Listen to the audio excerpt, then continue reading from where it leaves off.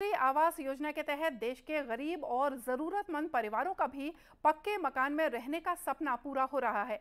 प्रदेश में भी ये योजना सफलतापूर्वक चलाई जा रही है। यहाँ के भरतपुर विकासखंड में योजना का लाभ लेकर ग्रामीणों ने पक्के मकान बनाए हैं।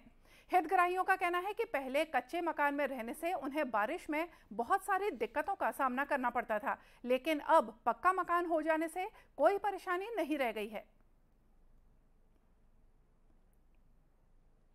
कच्चा मकान में रहते रहे मतलब ये है कि ये आवास मिल गया है तो पक्का बना लिए हैं तो परिवार सहित रहते हैं। मेरा नाम उर्मिला सिंह है, और टूटे फूटे घर में पहले रहती थी। बरसात की वजह से मतलब छूता था, बच्चे परेशान होते थे, मैं भी परेशानी में मतलब थी। और शासन ने मतलब कुछ हम अपना पैसा लगा करके और शासन ने सहयोग दिए तो हम अपना घर बनवाए। और अब कंप्लीट साफ़ सुथरा मतलब खुश परिवार हम सब लोग अच्छे से रहते हैं अब। कच्चे घर में रह, मैं, मेरा नाम अफरोज है।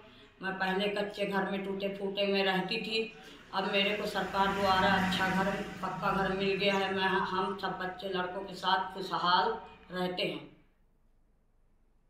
जिला पंचायत सीईओ नम्रता जैन ने बताया कि योजना के तहत दस हज़ार हितग्राहियों को 26 करोड़ रुपए की राशि जारी की गई है। छब्बीस करोड़ राशि जारी की है और इससे दस हज़ार हितग्राही लोग लाभान्वित हुए और जैसा कि आपने देखा, हितग्राहियों को हम चार किश्तों में राशि देते हैं, उसके अलावा भी वो अपना अमाउंट लगा के घर को अच्छे से बनाने का कोशिश करते हैं। तो हमारी ये जो योजना है, ये काफ़ी सक्सेसफुल है। गरीबों को रहने के लिए छत मिल रहा है और उससे वो अपने साथ अमाउंट लगा के उसको बेहतर रूप से और अपने घर को बना पा रहे हैं। सीईओ ने बताया कि योजना के तहत हितग्राहियों को राशि चार किश्तों में दी जाती है।